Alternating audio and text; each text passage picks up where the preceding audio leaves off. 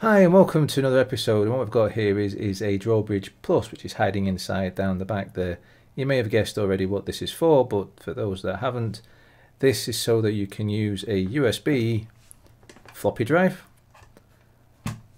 and actually write and read real Amiga discs which is great fun to be able to do on your PC. You can actually use it with an emulator, uh, WinUAE and use them directly or you can do real discs and use them on your real Amiga.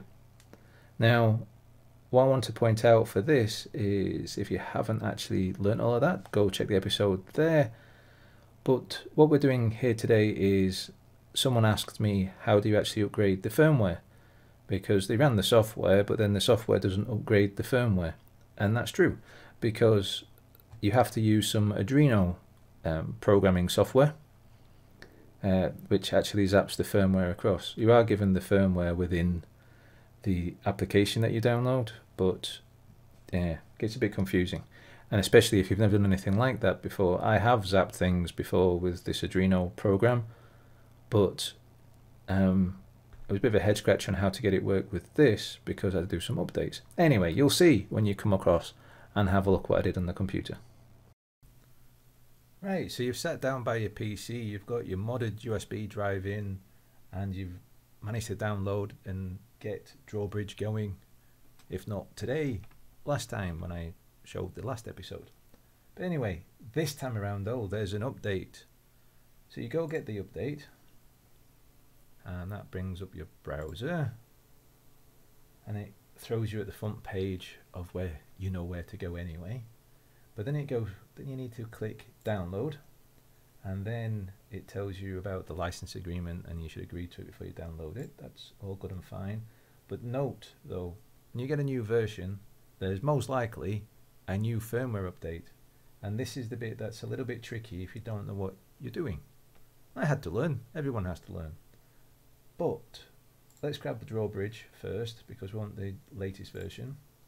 So we've got that minimize the browser down already so you do not forget. Close down the old version of Drawbridge. Bring your browser back up again. And then you wander off to the Arduino website, which I'll put a link down below, so don't worry about the full name of it, but it's basically Arduino website. And you want the latest version of Arduino, so you grab that. Donate if you wish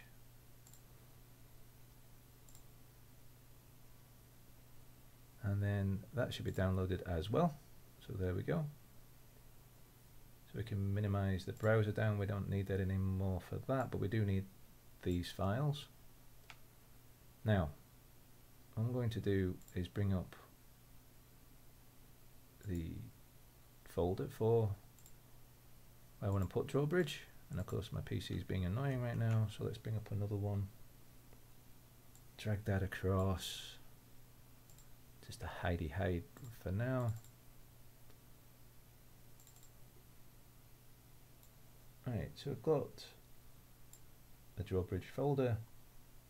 I'll dump that in there for now. And then we'll unpack it.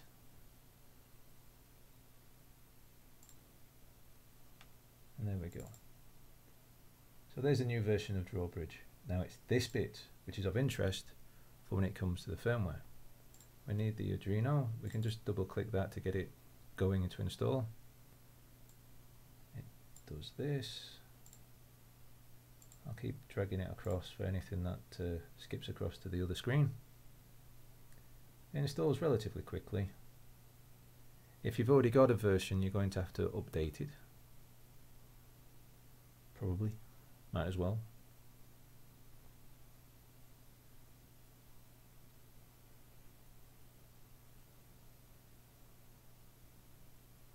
At full speed here.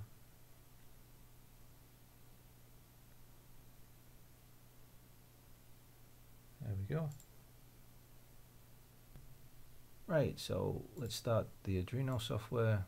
There's a splash screen, which I can't show you right now because that's on the other screen. Right, so there's a few things that we need to do before we actually start loading everything into this properly.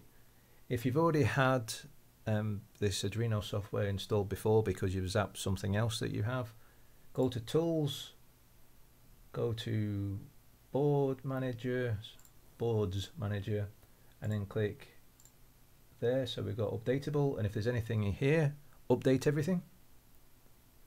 And then also for here, manage the libraries. Wait for that to load up. And again, if there's anything updatable, update them.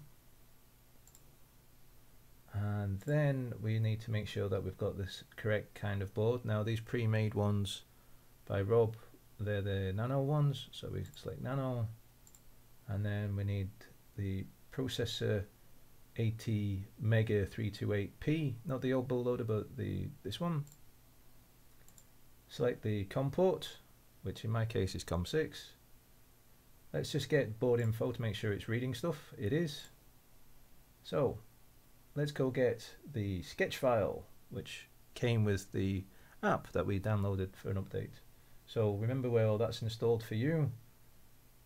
So we go to file, click open, we click on through, we get there, and then we click open, we can close the old version, and then we click the upload.